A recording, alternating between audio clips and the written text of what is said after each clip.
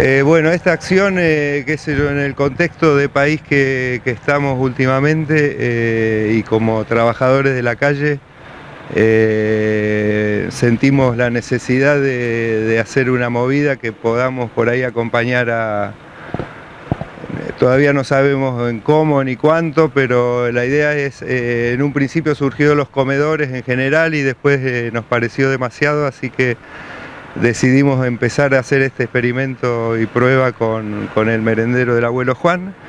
Y bueno, así eh, los socios de Argra en Viedma, eh, Argra que es la Asociación de Reporteros Gráficos de la República Argentina, eh, bueno, nos pusimos de acuerdo,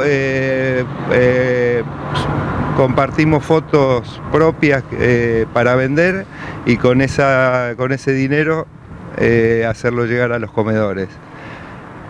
Esto, bueno, lo estamos eh, generando a través de un Instagram que es de Argra Viedma, ahí, ahí están todas las fotos numeradas eh, de los distintos autores que somos acá en Viedma. Eh, y bueno, la onda es entrar, mirar y si se copan por ahí comprar y dar una mano al merendero. Bien, veo también, estuve chusmeando un poco el Instagram, que hay para todos los gustos, ¿no? No solamente de movilizaciones, que es capaz donde se lo más se los ve, sino también, bueno, de la naturaleza que tenemos por aquí.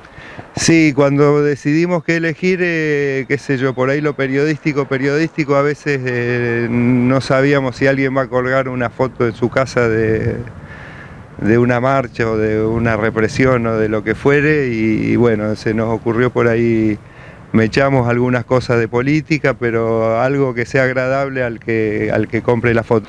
¿Cuál es el valor que tienen las fotografías? ¿Cómo se entregan? Las fotografías valen, son de 20 por 30 centímetros, que es como una hoja oficio, y, se entregan personalmente si, si, es acá en Viedma y si es afuera, bueno, lo mandaremos por correo a, pagar por el que compre realmente, porque es muy, no es muy grande el margen de, de ganancia, así que eh, lo decidimos de esa manera.